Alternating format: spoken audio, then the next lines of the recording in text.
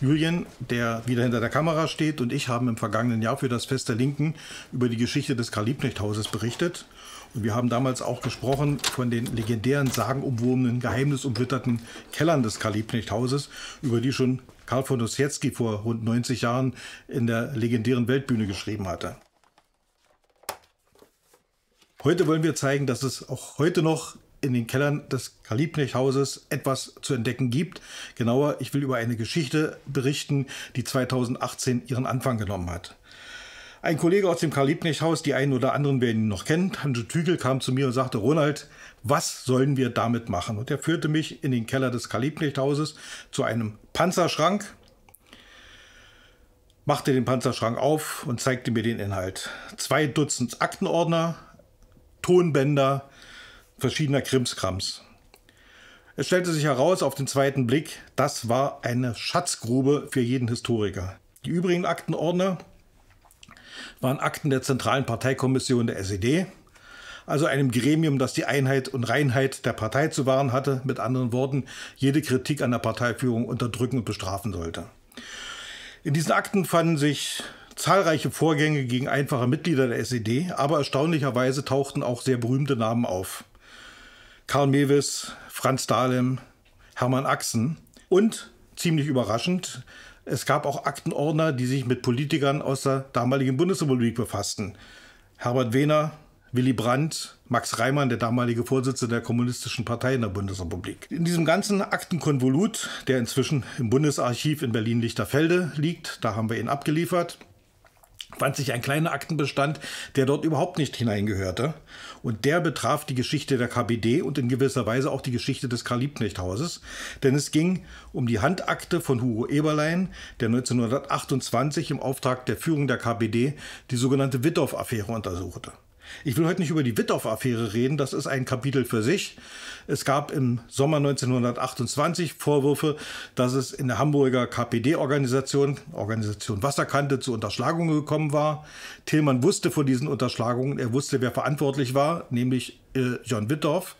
Aber er hat diese, dieses Wissen gegenüber der Parteiführung geheim gehalten und daraus hat sich ein, eine Affäre, die Wittow-Affäre entwickelt, die für die KPD äh, langfristig tiefgehende Folgen hatte.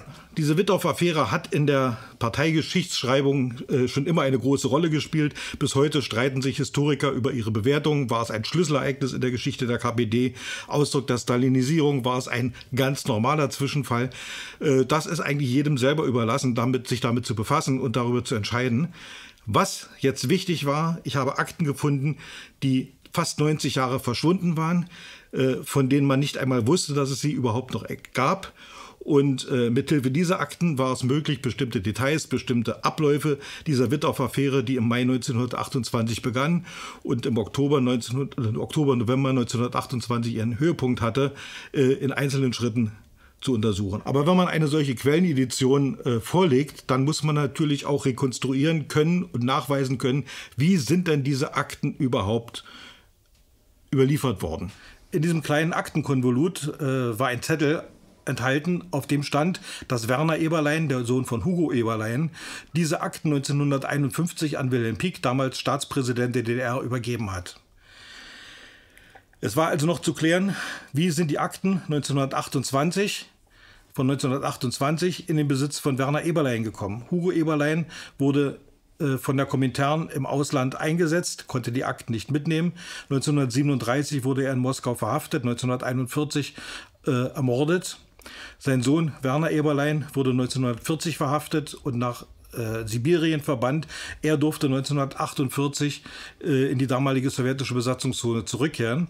Und es zeigte sich, dass Friede Steiner, die Schwester von äh, Hugo Eberlein, mehr als 20 Jahre diese Akten aufbewahrt hatte äh, in Saalfeld in einem Nebengebäude des Hauses, in dem sie damals mit ihrem Mann wohnte. Der, ihr Ehemann hatte ein kleines Versteck gemauert in diesem Nebengebäude und dort lagen diese Akten mehr als 20 Jahre.